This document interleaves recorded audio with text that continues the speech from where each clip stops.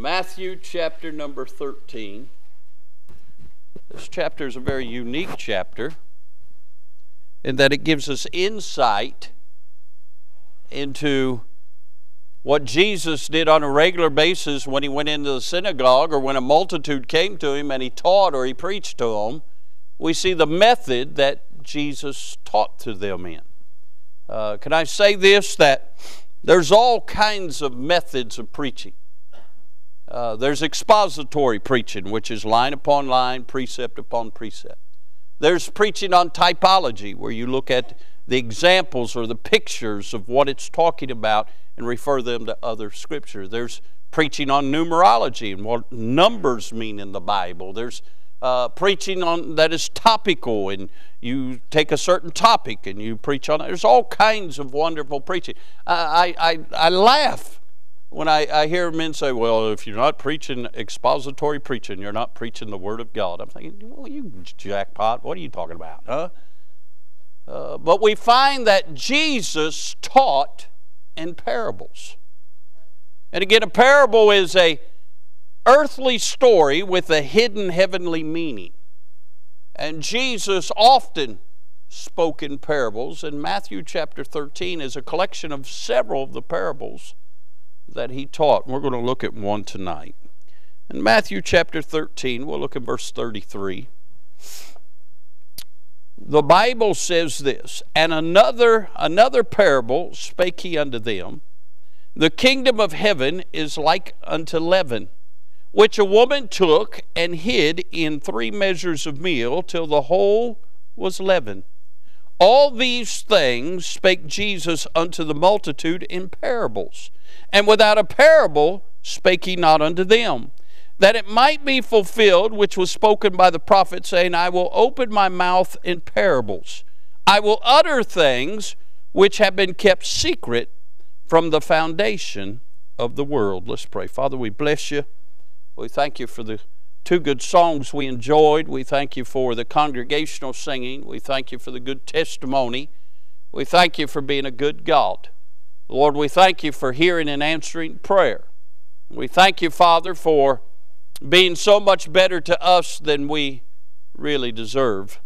And Father, we certainly thank you for the precious promises and the Word of God. Lord, we're thankful you're constantly abiding. And Lord, we're thankful for the blessed hope that one day we're going home. But Lord, until then, I pray we'd be busy about your business. And God, we'd be found faithful to the name of our darling Savior, the Lord Jesus. Now, Father, I pray for Brother Phil. Lord, I know he'd be here tonight if he wasn't in the hospital. And Lord, I pray for him. I pray you'd touch him. And I pray that, Lord, uh, uh, you'd help him recover from this pneumonia, and God, you'd raise him up. I not only pray that for him, I pray that for Brother J.D., I pray that for Brother Bobby. I pray you touch these men of God.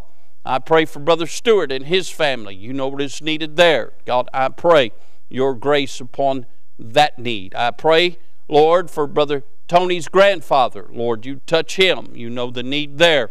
And then, Father, we pray for Miss Mary. You'd continue to help her and strengthen her.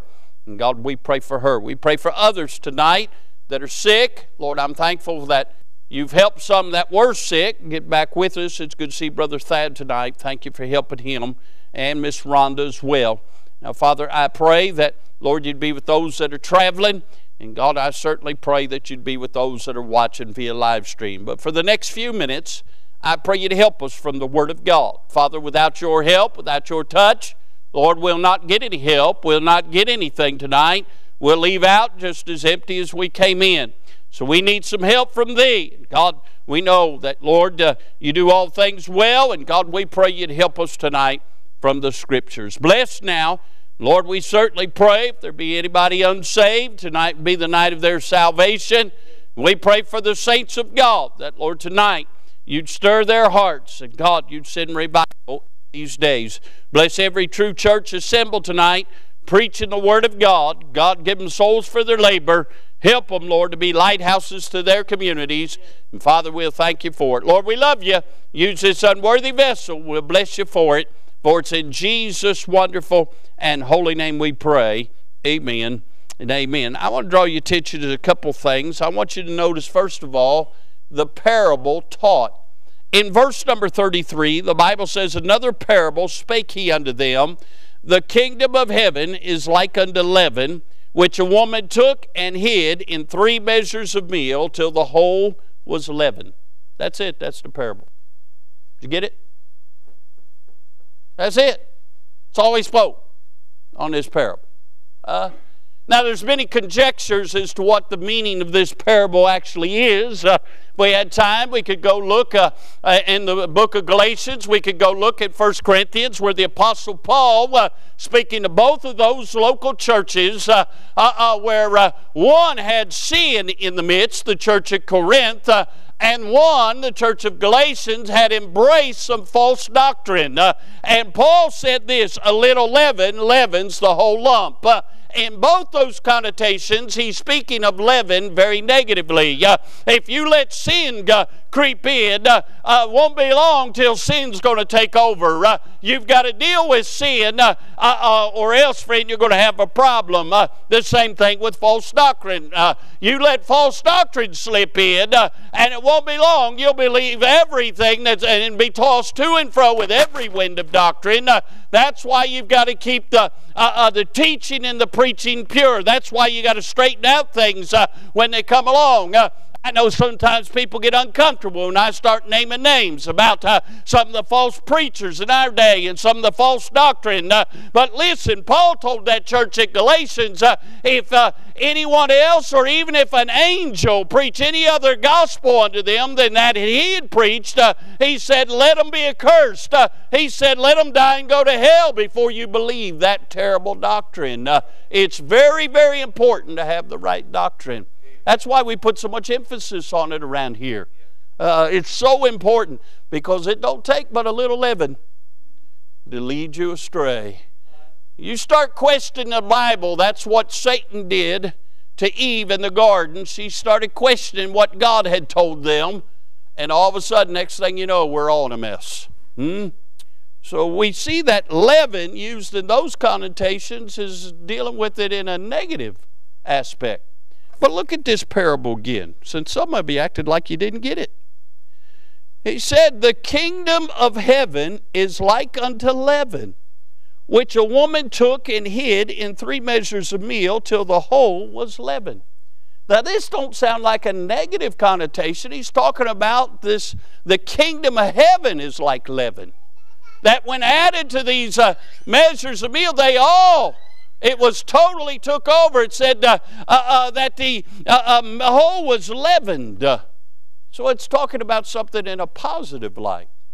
So what's this referring to? It's referring to when you got born again, the Spirit of God moved in you. And as the Spirit of God moved in you, He started working on you. I dare say that nobody was perfect when they got saved. I dare say none of us are perfect since we got saved. Uh, but if you've been saved any length of time, uh, you ought to be a whole lot closer to the things of God than you was when you first got saved. Uh, when you first got saved, the Spirit of God started moving in you, uh, started convicting you about things you might have said or places you used to go uh, or ways you used to conduct yourself, uh, and He began to work on you, and He began to grow you and mature you. when you first got saved, all you understood was the love of God, and that's a good thing to uh, uh, embrace. Uh, what a blessing when we got saved. We just uh, uh, experienced a whole new world, and all we knew is that we loved everybody because Jesus loved us, uh, and we were on the sincere milk of the Word, and every story was new, and every song was new, and it was wonderful. and the Lord began to grow us, and then His life comes comes along, you start going through trials, and you start going through pressure, and you start going through obstacles. Uh, and that same Spirit of God uh, takes the Bible that has been preached to you and helps you through those things. Uh, and He grows you and matures you until one day uh, uh, uh, we'll be complete. one day the Spirit of God will bring us to the point of maturity to where, hey, what a blessing when Jesus is ready to take us home. We get a body like Him and we'll look like Him. what a blessing. He's still working on us. But the more you let Him work, the more you're going to be like the Lord. And that's in essence what he's saying in this parable. That's what the kingdom of heaven's like. It's like leaven. It, it, it's introduced to me, and all of a sudden, before it's all said and done, the whole was leavened. So we see the parable taught. Notice the prophecy brought. Look at verse 34. All these things spake Jesus unto the multitude in parables, and without a parable spake he not unto them, that it might be fulfilled, which was spoken by the prophet, saying, I will open my mouth in parables. Can I say, when Jesus came, he not only came to go to the cross and die for our sins, he came to fulfill the Word of God. God had made, made many promises, and he gave prophecies as to when the Messiah showed up, they should recognize him. And can I say that Jesus fulfilled all those prophecies? Uh, I uh, once read a track, I probably still have it in my office somewhere, said if you took a silver dollar and you put it uh, uh, uh down uh, for every odd of Jesus fulfilling just seven prophecies. Now, he fulfilled many, all of them, but just take seven. And the odds of one man fulfilling just seven prophecies in the Word of God, uh, uh, if you took a silver dollar for every one of the odds, uh, it would cover the whole state of Texas knee high. That's if he just did seven. But he fulfilled them all. And one of the uh, prophecies, what? He would speak in parables, which he did. Uh, Isaiah 35 said only God could open blinded eyes and make them see. Uh, uh, it lets everything in the Old Testament uh, was a picture or a promise uh, of what the prophet, uh, the Messiah, would be like when he came. And when he came, he fulfilled them. They should have recognized him. Hmm? First prophecy concerning Jesus is in Genesis 3:15. That he would bruise the head of the serpent, and the serpent would bruise his heel the seed of the woman. Right there, we knew that the Lord was going to send his Messiah through the birth canal of a woman. We find later that she'll be a virgin. We find that his name be called Wonderful Counselor. And we could go through all the prophecies. Uh, uh, uh, what a blessing to know uh, that Jesus proved who he was. Hmm? The sad thing is, they didn't recognize him when he came. Now, this is where I have a lot of caution in my forefront of my brain right here. The Pharisees had the first five books of the Bible committed to memory Genesis, Exodus, Leviticus, Numbers, Deuteronomy. They call it the Pentateuch. They had that committed to memory. They understood throughout studying the scriptures all the mountaintops of prophecies. They understood Messiah was coming. They understood when Jesus comes, his literal second coming, how he's going to put an end to all those fighting against Israel and how he's going to rule and reign from the throne of David forever. Uh, I mean, for a thousand years. They understood all that. They understood that from Isaiah 11. They understood uh, all the things about him being Messiah, but they missed all the prophecies about him being Savior. They did not look in Isaiah 9, although they embraced Isaiah 11. When Jesus showed up, the most religious men of the day didn't recognize him. Now, I say that because I hear preachers all the time saying, well, he's going to look like this, he's going to do this, this is going to happen, that's going to happen. You better be careful. If they miss some things, I wonder what we're missing. We see the parable taught, the prophecy brought, but notice the privacy wrought. Look with me again verse 35. The Bible says this that it might be fulfilled, which was spoken by the prophet, saying, I will open my mouth in parables. Here's what he goes on to say I will utter things which have been kept secret from the foundation of the world. Notice the privacy wrought or brought forward. He said, I will utter things which have been kept secret from the foundation of the world. The Apostle Paul, in his writings, talk about the mysteries of the kingdom of God.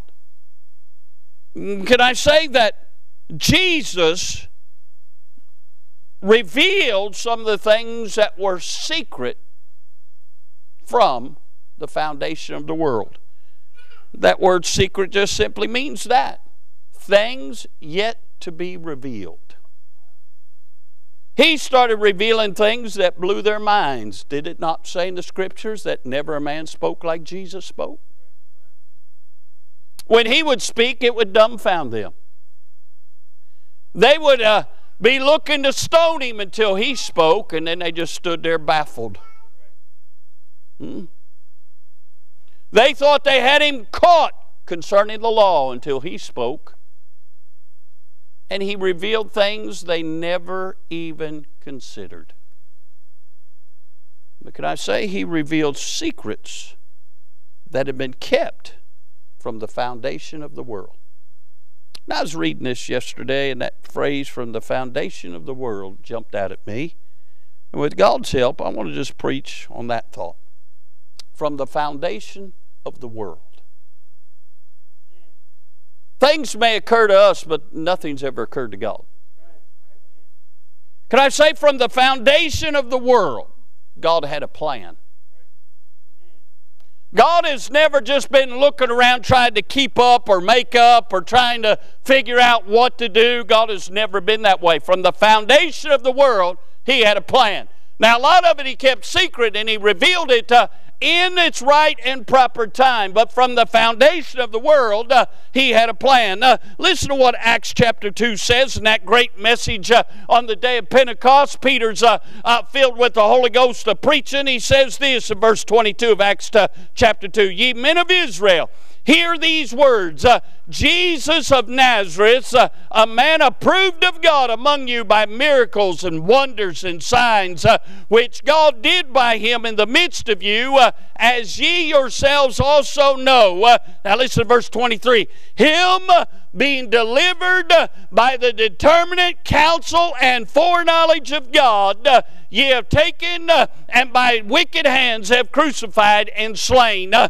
uh, uh Peter revealed unto them uh, that God had a plan, the foreknowledge of God, uh, the determinate counsel of the foreknowledge of God. said before God ever created a world, He had a plan, and His plan was for Jesus to come and do the signs and the miracles and the wonders and be betrayed into the hands of angry men who would crucify him. Uh, it was God's plan. Uh, Jesus was the lamb slain from the foundation of the world. Uh, God's always had a plan, my dear friends. Listen to me, the Holy Ghost gave me this. Through the ages and seven dispensations of time that we know uh, as outlined in the scriptures uh, uh, uh, uh concerning mankind, God has always had a plan to bring man to himself. Uh, though the specifics have differed, uh, the premise always sought the same thing. Uh, the premise always sought for God to impute unto man righteousness, for man to have inward repentance, and for man to have inherent reverence towards God uh, uh, through believing and obeying God's commands to the fulfillment uh, of the purpose of God's plan. Ephesians 1 and 4 says, according as He had chosen us in Him uh, before the foundation of the world, uh, that we should be holy uh, and without blame before Him in love, having predestinated us unto the adoption of children by Jesus Christ to Himself according to the good pleasure of His will, uh, to the praise of the glory of His grace, uh, wherein He hath made us accepted in the beloved. Uh, that's a mouthful. But can I say, from the foundation of the world, God chose us in Him. Can I say, from the foundation of the world, it was predestinated uh, that uh, we would receive the adoption of sonship in Christ Jesus. Uh, uh, uh, that was what was predestinated. Uh, uh, why? According to the good pleasure of His will, to the praise of the glory of His grace. Now, let me make a few comments here.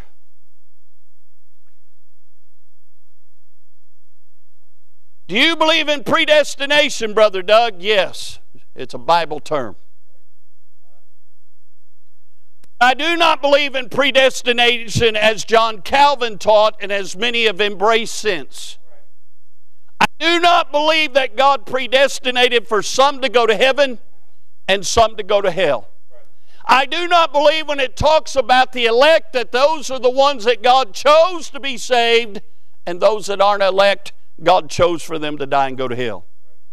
If God predestinated some to go to hell, why does the Bible say that Jesus tasted death for every man? Why does the Bible say, Whosoever will, let him come? Why does the Bible make provision when God said it's His will that none should perish, uh, but that all should come to repentance? Yes, I believe in predestination. What was predestinated? That everyone who would be saved would be saved through Jesus Christ. That's what was predestinated. Do you know every Old Testament saint got saved by the blood of Jesus Christ? Do you know in Ephesians chapter number 4 where it says he led captivity captive? Uh, every Old Testament saint went to a place called paradise, uh, or in Luke 16 called Abraham's bosom, uh, and uh, there they had to stay uh, and they had to wait uh, until the Lord Jesus Christ died on the cross, shed his blood, and resurrected.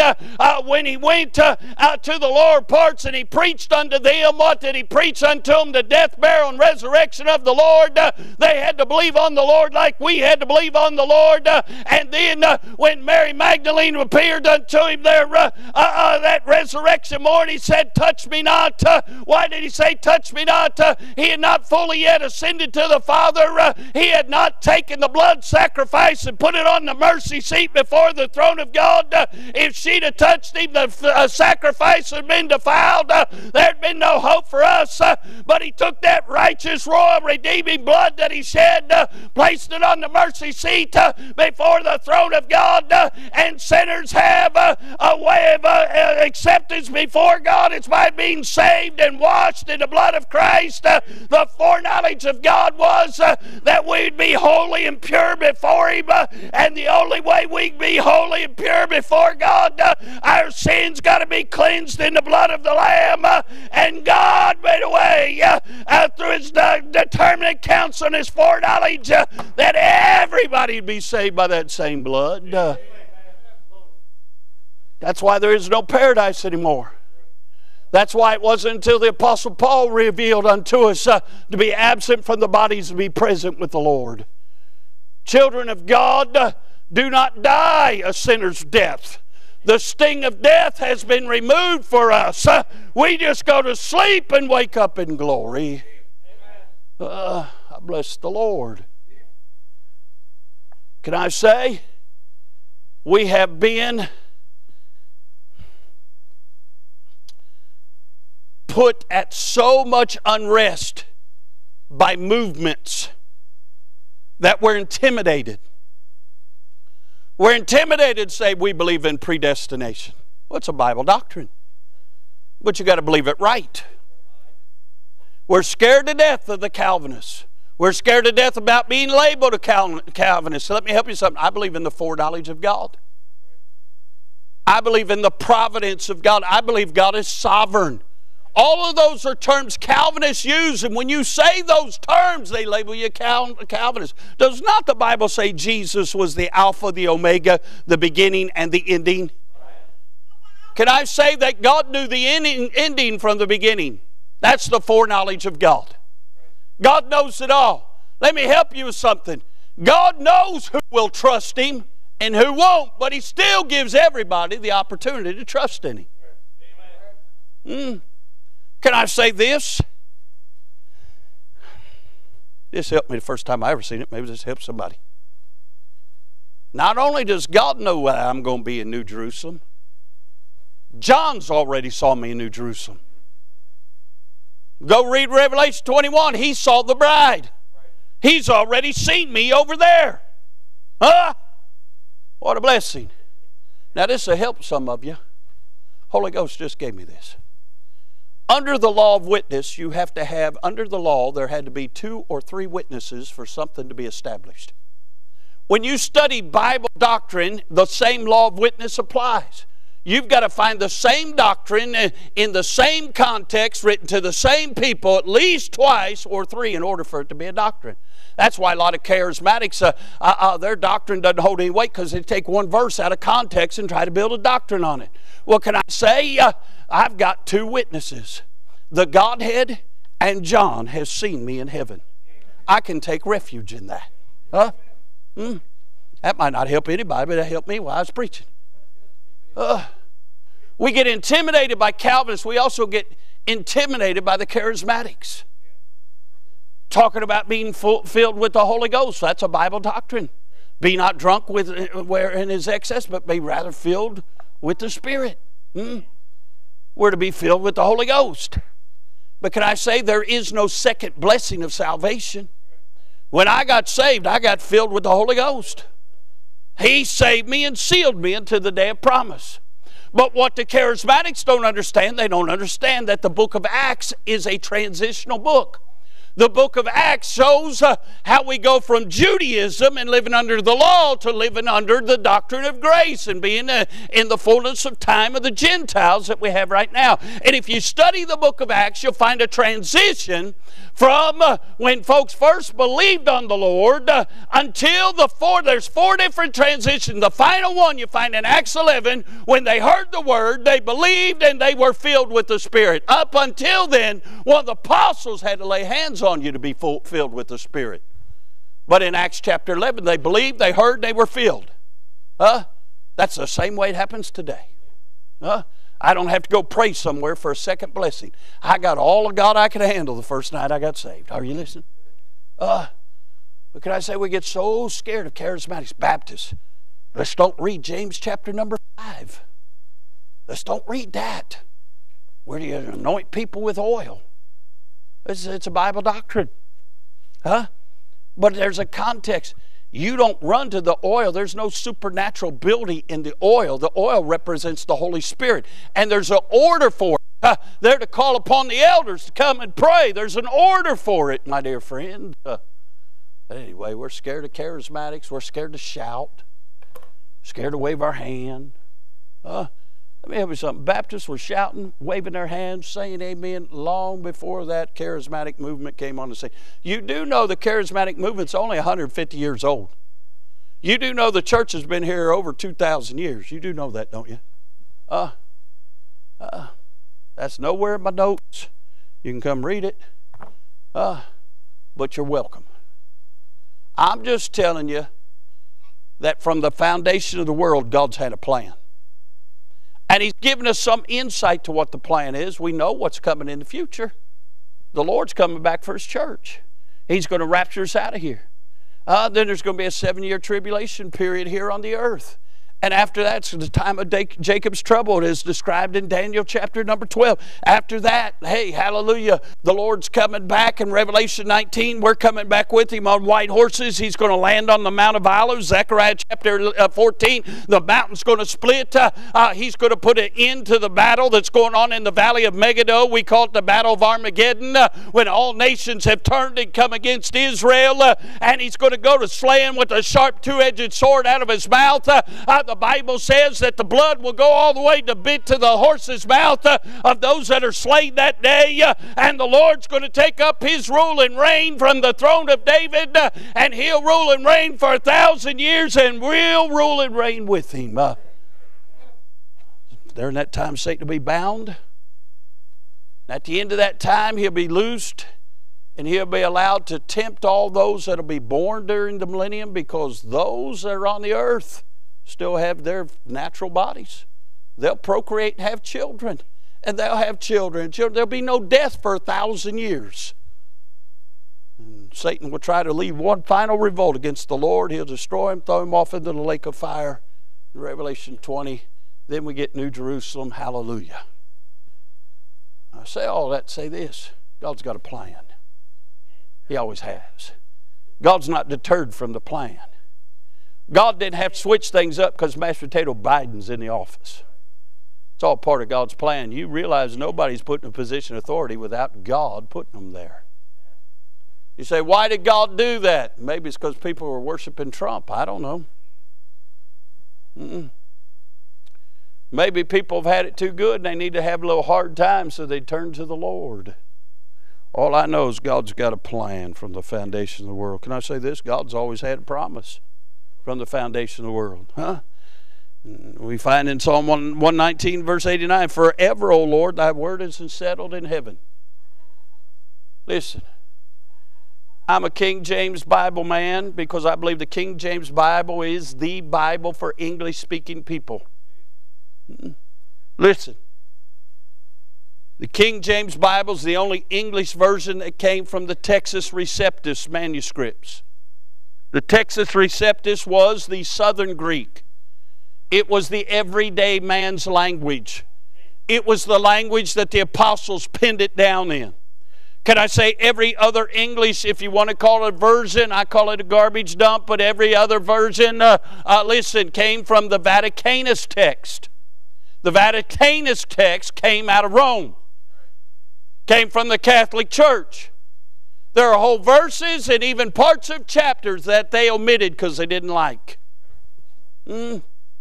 Can I say Westcott and Hort were two wicked men that took the Vaticanus text and brought the first uh, uh, false English translation into America, introduced to America in 1901, and in that very same year is the first time anyone ever spoke in tongues in America. Falseness brings false doctrine. Uh, I'm a King James Bible man. I believe every word of this Bible is inerrant, infallible. It's God breathed, it's inspired of God. It is without error. I believe every punctuation mark is without error. I believe everything in this Bible, God pinned it down for you and I, and it's forever settled in heaven. They can take every copy they can find and burn it up. Doesn't change the fact it's forever settled in heaven. Uh, hey, uh, I don't have time. I could show you in Acts, uh, uh Psalms chapter 12 where the Bible come through seven major translations, uh, and the last one uh, was English in 1611. and I bless the Lord, we got a book we can trust in. They did change it about 1762 from the old Elizabethan English to the modern way it's the script that it looks. They didn't change the words. Uh, I've read the Elizabeth. That's what this one is. This is an actual 1611 right here. You read it long enough because the F's look like S's and you know the V's are funny and all. But you start reading it long enough, all of a sudden your eyes adjust to it and you read it. And you'll find that it says exactly what this one says. Uh, and I bless the Lord, we got a Bible we can trust in. Now, can I say there's a there's always been a push to deny God's word. Anybody wants to get you away from God's word, just mark them. Uh, they're full of the devil. Bible said, try the spirits, whether they be of God. How do you try somebody's spirit? If they're trying to get you away from the Bible, they don't have the Spirit of God. The Holy Ghost of God bears witness with His Word because He's the one that pinned it down. Now, I'm telling you all that because we are now facing a new uh, attack on the Bible from these so called recovering fundamentalists. People who was raised in churches like ours and they're going around the world apologizing for how they were raised. They don't believe in old time preaching and old time singing, old time shouting, old time worship. Uh, uh, they'll deny the Bible while they're doing, they're cracking open a beer and, and uh, uh, uh telling you it's okay. And they're trying to live wickedly and sinfully uh, and attach religion to it. That's what religion always does, by the way. they try to justify themselves. can I say God don't have to justify himself? He pinned down his word and gave us his promises. You know how I know God wrote this book? Because it tells us how bad man is and how great God is. That's how I know God wrote it. Man wrote it, tells how wicked God is and how great man is. Hmm? Uh, I got a lot on his promises and that he gave us a promise from the foundation. I've spent too much time. Let me move on. I'll never get done. Can I say, from the foundation of the world, God had a person. The Bible says in Revelation 5, verse number 6, And I beheld, and lo, in the midst of the throne and of the four beasts, in the midst of the elders, stood a lamb, as had been slain, having seven horns, seven eyes, which are the seven spirits of God sent forth into all the earth. And he came and took the book out of the right hand of him that sat on the throne. And when he had taken the book, the four beasts, four twenty elders fell down before the Lamb, having every one of them harps uh, and golden vials full of the odors, which are the prayers of the saints. And they sung a new song, saying, Thou art worthy to take the book uh, and open the seals thereof, for thou wast slain and hast redeemed us to God uh, by thy blood out of every kindred and tongue and people and nation, uh, and hath made us unto our God kings and priests uh, and we shall reign on the earth. And I beheld, and I heard the voice of many angels round about the throne, uh, and the beast and the elders, uh, and the number of them was 10,000 times 10,000 and thousands and thousands, uh, saying with a loud voice, Worthy is the Lamb that was slain to receive power and riches, uh, and wisdom and strength and honor and glory and blessing, uh, and every creature which is in heaven and on earth and under the earth, uh, and such as are in the sea, and all that are in them, heard I saying, Blessing and honor and glory and power be unto him that sitteth upon the throne uh, and to the Lamb forever and ever. Uh, God's always had a person. Uh, it's his darling Son, uh, the Son of God. Uh, hey, it was always meant uh, for him to come and be the Lamb. It was always meant for him to be slain for our sins. And one day we'll praise him without any hesitation or any obstacles, any hindrances, and we'll give him the word glory do his name, uh, and we'll cry how worthy he is. Uh, hey, he, God's always had a person, and his name is Jesus Christ. Uh, and I love him because he first loved me. It's easy to love him, he's holy. It was hard for him to love us because we were filthy, but he loved us anyway. God's always had a person. He's always had a promise. He's always had His word uh, forever settled in heaven. I'm talking about from eternity past to eternity future. God's had a promise, He's had a plan, He's had a person. Can I say this? God's always had a place. Mm. He had a place called Mount Calvary. Mm. I believe it was Marcy used to sing that song that he grew the tree that he knew would be Calvary. Mm when God spoke this world into existence, He knew that little hillside, the place of a skull, is where He would bleed and die for our sins. God's had a place called Calvary. I've never been there physically, but I've been there by faith. Hmm? If you haven't been to Calvary, you're not going to heaven. God's got a place, place of Calvary. God's got a place, the place of conversion. There is a place you can go back in your mind where you met the Lord. A place under Holy Ghost conviction. You might not have known what it was. All you knew is you was miserable and you realized you was lost and you wasn't going to go to heaven that you was an enemy of God, you realized you needed to be saved, uh, and you can go back to that place where you put your faith in the Lord Jesus Christ because He changed you. You passed from death unto life. If you can't go back to the place where you was raised in newness of life, you probably haven't been raised. Mm. I'm not saying you have to remember the date. I'm not saying you have to remember the time. I'm not saying you have to remember what the preacher preached on or what somebody told you about the Bible. I'm not saying that you have to remember what you prayed, but you will remember the place where you met the Lord. Mm. Uh, I've told this story. I think I told it not long ago. My grandpa had a had a deacon named Cordell Sherrill. And Brother Cordell Sherrill is the first man I ever heard teach the book of Revelation. Brother Cordell was a good man. He was an iron worker all his life. He's a big, strong man. He was the first man I ever knew that got Alzheimer's. And he was so strong from working on iron all those years you know, he, he kept thinking he was 17 and, and nobody could tell him anything. He didn't recognize his family. They had to put him in a hospital up in Dayton just for Alzheimer's victims. And they had to tie him to the bed at times when he'd have spells because he was so strong. Last time I saw him, we was having homecoming at the church, and his boys went and got him, brought him. He was in a wheelchair. He didn't know his wife, didn't know his boys, didn't know his daughter in laws, didn't know his grandchildren but he couldn't forget the man who introduced him to Jesus. Never forgot my grandpa. Hmm? Huh? I'm telling you, even if you lose your mind, God will still remind you of the place where you met Jesus. There's a place of Calvary. There's the place of conversion. And then He's given us the place of the church. The Lord loved the church and gave Himself for it. Can I say the church is a special place? It's an oasis in this world. It's a place where we can shut ourselves in and shut out the world. It is a place where we can come and worship Almighty God in spirit and in truth.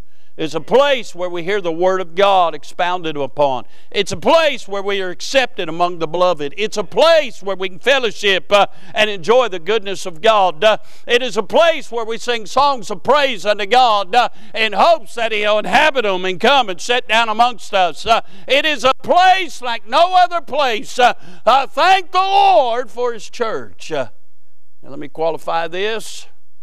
None of this is my notes, man. I'm never going to get this message done. When I speak of the church, I speak of the local, visible, New Testament body of baptized believers. I'm not talking about some invisible, imaginary whatever. 115 times in the New Testament you'll find the word church. 112 times it's referring to the local, visible New Testament church like what we have right here. Hmm? Can I say? God does not have a universal church. We live in a day and age where churches are networked together by associations. That's not God's plan. Hmm. By the way, the term Catholic means universal. You're welcome. That didn't cost you anything. Jesus died for local churches. Can I say there's an independent Baptist church about three and a half, four miles from here. How they worship God, how they serve God, what they do with their money, what they do, uh, I don't really care. Because God put me in this local church. We're independent from one another. If God tells them to uh, uh, quit using songbooks, that's between them and God. That has no effect on me. Hmm? If they have a different guy preach a revival than we have, who cares? That, that, that has no bearing on us. We're independent churches because that's what he died for. Go and study your Bible. There's the church at Galatia. There's the church at Ephesus. There's the church at Philippi. Go study them. That what they're calling them uh, individual local churches. Uh, it didn't say there's all the churches of Galatia. It didn't say that. There's a church at Corinth. And why anybody call themselves Corinthian Baptist Church, I'll never know. But it mentions them, the church of Sardis and all the churches.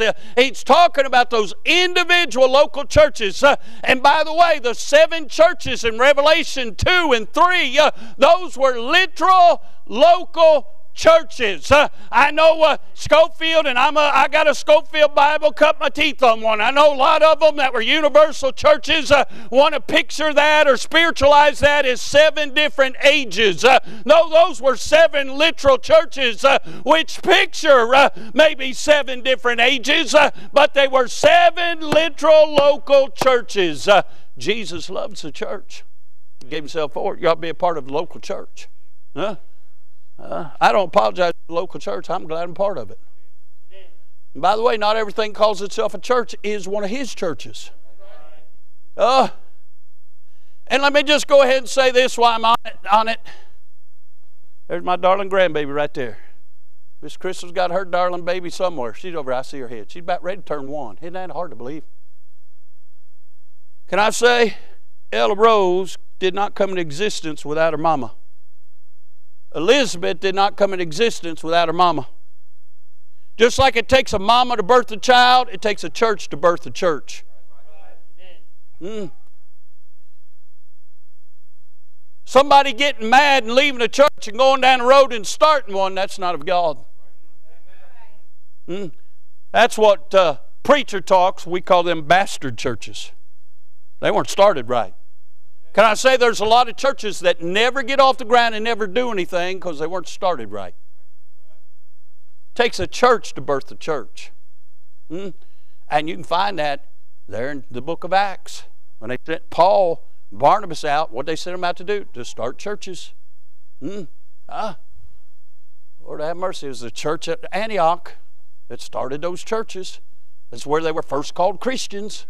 Why? They were doing what God told them to do take the gospel to every creature, establish local churches. Let me help you something. They've not always been called Baptist churches. The early church in the Bible, you find the church was called by its location, what city it was in, what town it was in. By the second century church, they were called by whatever preacher brought the gospel to them. You had Paulicians because they adhered to Paul's gospel, Paul's teachings. You had Waldenses and a bunch of other Monetists and a bunch of other. They were called by the name uh, of the movement of the preacher. Can I say you? It wasn't until the Catholic Church started slaughtering people for their doctrine because they would not bow before the Catholic Church, uh, we started getting called Anabaptists because we did not believe in infant baptism. Mm, about 1530, they just dropped the Anna and started calling us Baptists. But here's what I'm here to say. We haven't always been called local, independent, fundamental, Bible believing Baptists, but we're preaching the same doctrine that Jesus gave the apostles uh, and the apostles preached. Uh, we're still earnestly contending for the faith which was once delivered unto the saints. Uh, hey, what they stood for, we still stand for. Huh? I bless the Lord. Uh, every time they get a new pope, they change what the Catholics believe. This one, this new one's embracing the queer movement. Uh, you say, preacher, you shouldn't say queer. At least I didn't say faggot this time. Uh, the Southern Baptists used to stand for what was right.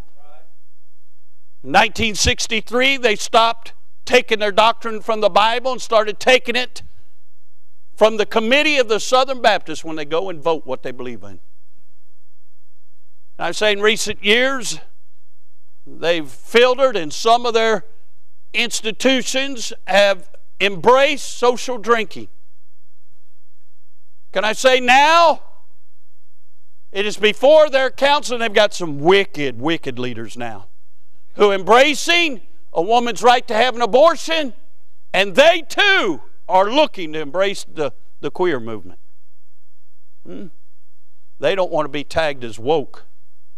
Well, can I help you something? When I got saved, I got woke up. Uh, call me whatever you want to, but when Jesus calls me, I'm going home. Uh, I'm just saying the church ought to stand for something.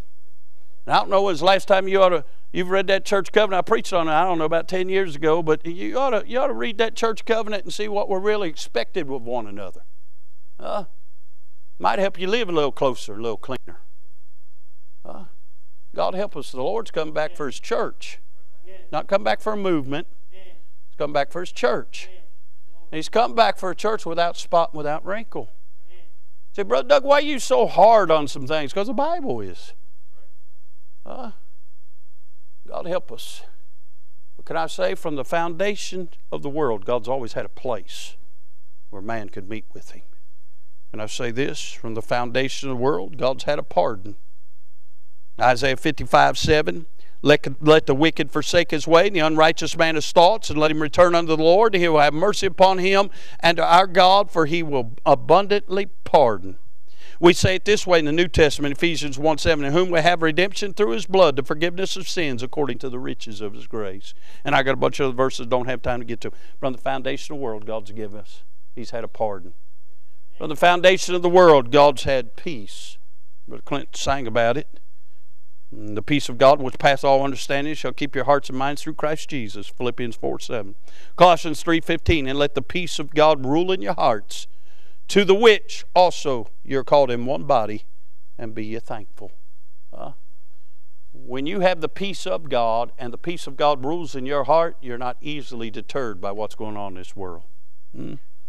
Can I say, from the foundation of the world, God's had a paradise. We call it New Jerusalem. I don't have time. I'd go read Revelation 21, verses 1 through 4. But John saw new heaven and new earth and city, New Jerusalem, coming down from God out of heaven.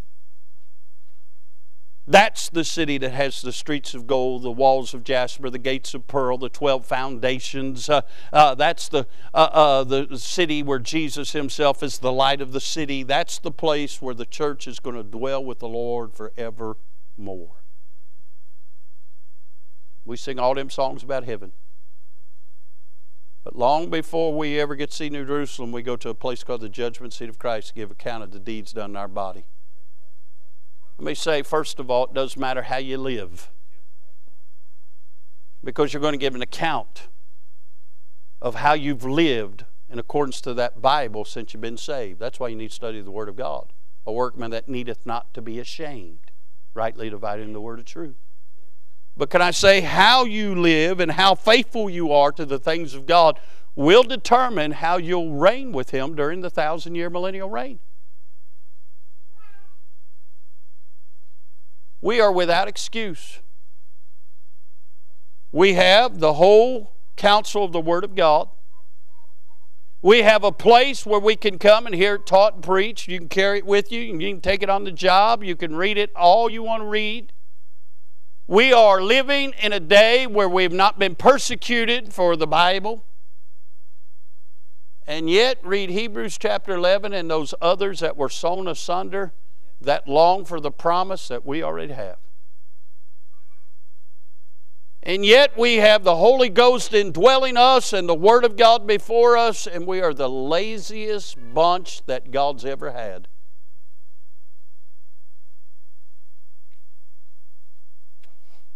If we just treat God like we treat our jobs, we'd be better Christians.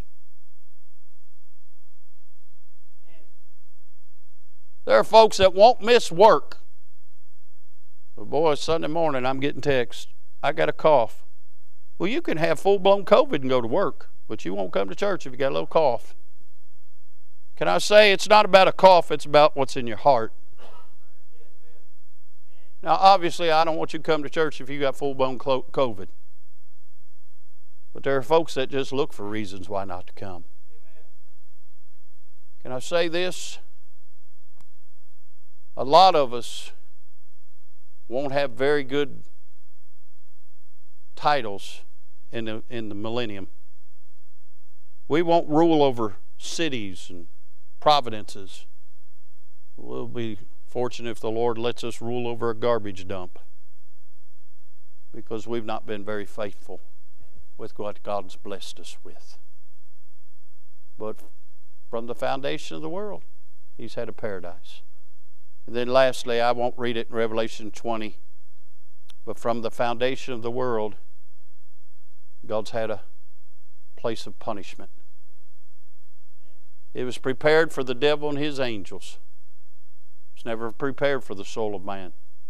But men that reject Jesus Christ, that's where they'll go and pay for their own sins. One of the saddest verses in the Bible, Revelation 20, verse 15, and there was found no place for them. Hmm. They'll have to die and go to hell because they wouldn't let Jesus pay for their sins. And they'll pay for their own sins. Say, preacher, why the message? Uh, the whole message really is the fact that God's got everything under control. God is still on his throne. And God knows how to take care of his children. How many would agree with this statement? America's gone soft.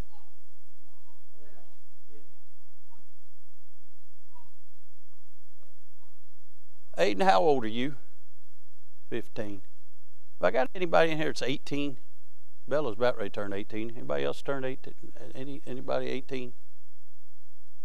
I know a bunch of us older than 18. Hey, young people, 19, 20. I just want you to think of people that are just a little bit older than Aiden, Bella's age. That's who we sent to Normandy Beach in World War II. Go to the mall and look at the, the young people running around. You think that they would go and do what those men did on Normandy Beach? We've gotten soft. I heard stories when men would go to boot camp up through Vietnam, the first thing the DI, the drill instructor, would ask who was from Kentucky.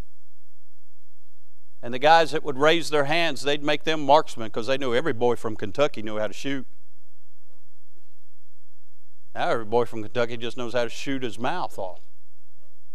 Or do this. Oh, I'm real good doing this. Huh? America's gone soft. Hmm? Ray, your generation, kids 13, 14 years old going to work every day, laying brick, working hard, those days are gone. Hmm?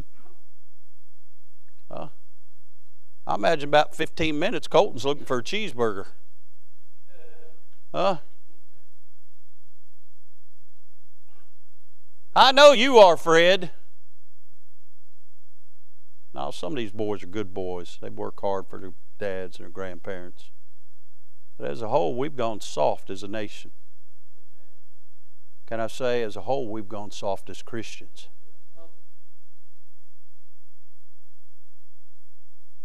We come to church expecting the preacher to have all the spirituality, but we don't bring God with us. God help us to realize God's got a plan and we need to get with His plan. People are dying and going to hell. What are we doing about it?